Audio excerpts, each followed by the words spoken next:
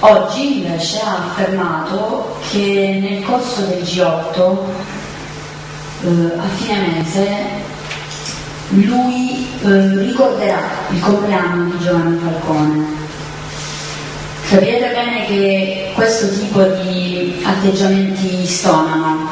stonano ma non sorprendono gli italiani, perché il nostro è un paese ormai cloroformizzato e narcotizzato. Ehm, Noto che soprattutto la stampa inglese, il Times, in questi giorni si è molto interessato delle esigenze sessuali di Silvio Berlusconi. E, per noi è storia vecchia, perché ricordiamo i pizzini che lui scambiava con le sue veline ministre all'interno del Parlamento, tra gli scrami del Parlamento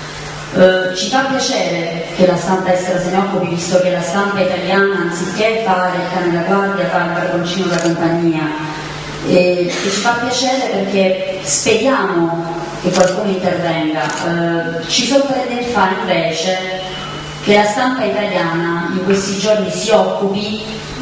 del fatto che la regina bacchetti eh, i parlamentari, i deputati inglesi Strano che non, la stampa italiana non si ricordi appunto di quell'alto livello di delinquenti che ha all'interno delle sue aule, tra Montecitorio e Palazzo Madama. Magari potremmo chiedere alla regina Elisabetta, visto che ha già conosciuto eh, questo aspetto clown, no? proprio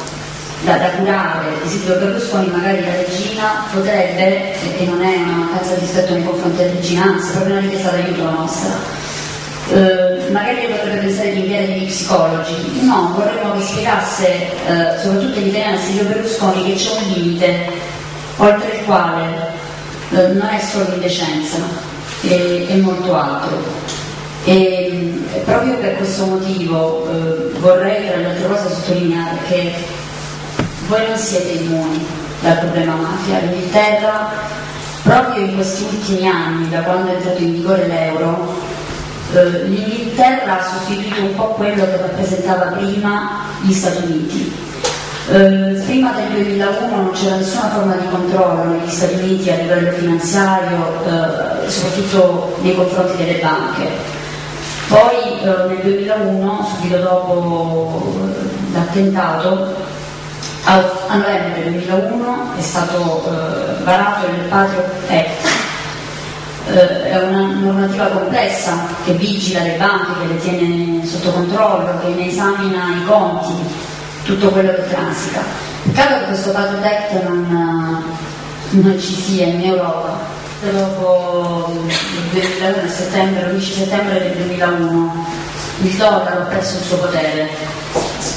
e l'euro invece ha cominciato ad acquistare del potere economico. Questo perché probabilmente per le mafie, per le associazioni criminali non era più così facile eh, pulire i soldi passando proprio oh, dagli Stati Uniti a causa di quel patriot Questo invece oggi accade in Europa perché non c'è nessuna forma di controllo e l'Europa è diventata la lavanderia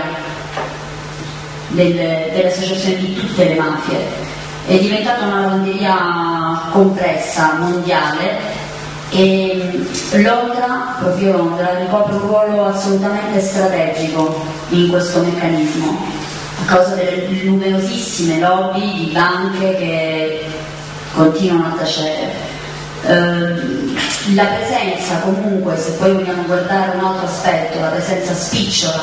di determinati personaggi in Inghilterra ehm, è un dato di fatto, la cattura di Gennaro Panzuto, eh, la cattura di Anne Hathaway, che non è l'attrice, ma è la moglie di Rinzivillo, un boss di Cosa Nostra, la quale eh, disse a Panorama che lei era troppo presa a fare la casalinga che non poteva non aveva avuto il tempo di capire chi fosse suo marito. Eh, la presenza di personaggi che in Inghilterra attraverso eh, brand, attraverso aziende hanno cercato di pulire il denaro sporco probabilmente anche a causa di una sottovalutazione del problema istituzioni. Io prima di concludere eh, vorrei sottolineare quella che probabilmente è un'interdipendenza economica tra l'economia legale e l'economia illegale e che l'assenza di un controllo di una normativa specifica, eh, di una normativa che vigili eh, rende oggi più che mai l'Europa, ma soprattutto l'Inghilterra, come paradiso fiscale.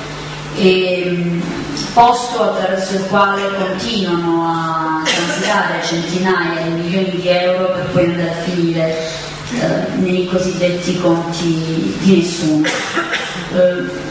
Poco fa il professore Tranfaglia parlava del processo Mori, del fatto che nessun giornale italiano, nessuna televisione italiana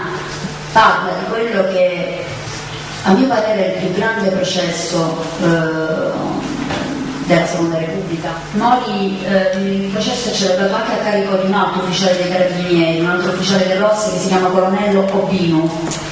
In quel processo eh, loro sono sul banco degli, degli imputati. Chi accusa è un altro ufficiale dei Carabinieri che si chiama Colonnello Michele Riccio. Il colonnello Michele Riccio accusa eh, nella fattispecie il eh, generale Mori, il colonnello Obino, di non aver voluto arrestare Bernardo Provenzano negli anni 90 in, a Corleone, in contrada Montagna dei Cavalli, nello stesso posto in cui è stato arrestato 13, quasi 14 anni dopo. Il colonnello Riccio fa uno, una descrizione molto precisa di quello che accade in quel periodo. Eh, il colonnello Riccio era diventato depositario delle confessioni di un boss siciliano, Luigi Lardo, Luigi Lardo aveva manifestato al colonnello Riccio la sua necessità di pentirsi. Eh, Riccio chiede però a Lardo di non rendere pubblica subito la sua necessità, ma di continuare di collaborare con le forze dell'ordine e di fare dei fondamentalmente qui l'accusato di questo sul banco degli imputati c'è anche un altro personaggio figlio di Lorbito Cincimino si chiama Massimo Cincimino il quale ha ammesso di aver fatto da um, collante di essere stato il legame nella trattativa tra mafia e Stato la stessa trattativa a causa della quale sono morti Giovanni Falcone e Paolo Borsellino. Probabilmente ho dimenticato nel raccontarvi di alcuni personaggi il ruolo di Marcello De Nutri,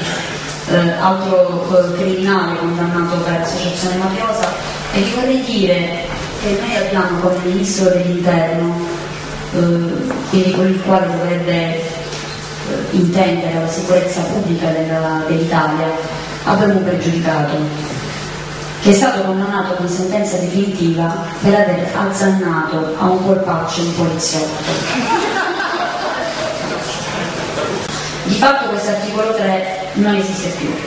perché per quanto negli ore di tribunale ci ancora scritto che la legge uguale per tutti, io vi ricordo che attraverso la porcheria, lodo porcheria, viene più difficile dire il nome, lodo Alfano, eh, le quattro più alte cariche dello Stato non sono al di sopra della legge, ma sono fuori legge. Per questi motivi, ehm, non solo, ehm, noi eh, resistiamo e continueremo a resistere in nome di un paese che già pagato un tributo altissimo per la propria libertà, per la propria democrazia e per difendere la propria Costituzione. Ecco perché vi chiediamo oggi di eh, comunicare a quante più persone possibili quello che avete sentito e che sentirete stasera.